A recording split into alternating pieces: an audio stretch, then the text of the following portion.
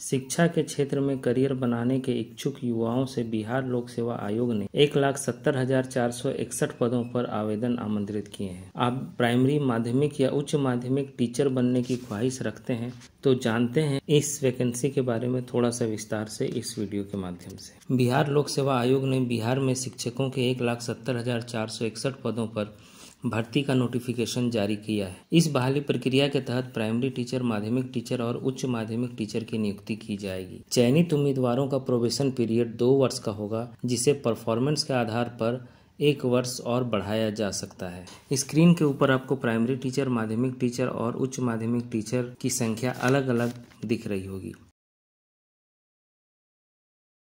कक्षा एक से पाँच तक प्राइमरी टीचर के लिए इंटरमीडिएट के साथ डीएलएड और सीटेट या Bihar TET paper one pass करने वाले अभ्यर्थी आवेदन कर सकते हैं। कक्षा नौ से दसवीं के लिए ग्रेजुएशन बीएड और state TET paper one pass उम्मीदवार आवेदन कर पाएँगे। वहीं ग्यारहवीं तथा बारहवीं के लिए पोस्ट ग्रेजुएशन बीएड और state TET paper two pass होना आवश्यक है। कंप्यूटर विज्ञान विषय के लिए बीएड की योग्यता अनिवार्य नहीं है। उम्र में आठ साल की छूट मिलेगी। वर्ष 2012 से पहले नियोजित शिक्षक जो दक्षता परीक्षा पास है, उन्हें बिहार टीईटी सीटेट या स्टेट टेट पास होने की ज़रूरत नहीं है।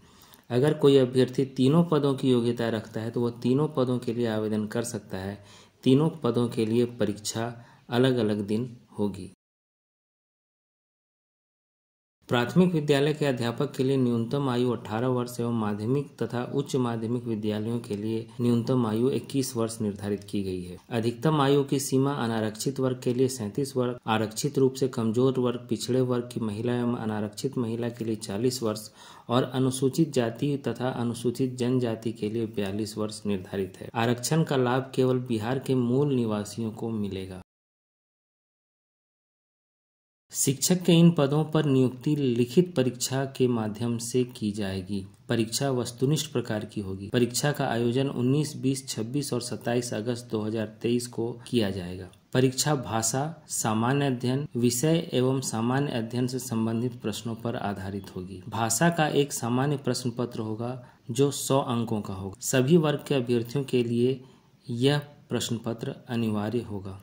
जिसमें सभी अभ्यर्थियों को कम से कम पासिंग मार्क्स लाने होंगे। परीक्षा में नेगेटिव मार्किंग का भी प्रावधान रहेगा, लेकिन क्वालिफाइंग पेपर में नेगेटिव मार्किंग नहीं होगी। कक्षा एक से पाँच तक प्राइमरी टीचर पद के लिए S C E R T का सिलेबस मान्य होगा। वहीं कक्षा नौ, दस, ग्यारहवीं तथा बारहवीं में एन सी आर टी का सिलेबस मान्य होगा। परीक्षा पास करने वाले अभ्यर्थियों का इंटरव्यू नहीं लिया जाएगा। परीक्षा के पैटर्न को विस्तार से समझने के लिए लिंक के माध्यम से डिटेल एडवर्टाइजमेंट को आप डाउनलोड कर सकते हैं और देख सकते हैं। तो ये थी बीपीएससी की तरफ़ से जारी नोटिफिकेशन के बारे में मोटा मोटी सूचनाएँ। आशा करता हूँ इससे आपको इस वैकेंसी के बारे में एक रफ आइडिया हो गया होगा। अगर आप इसके बारे में डिटेल में जानना चाहते हैं तो मुझे कमेंट सेक्शन में बताएँ। करियर और एजुकेशन से जुड़ी ऐसी ही वीडियोस के लिए बने रहें मेरे साथ, रैपिड जियो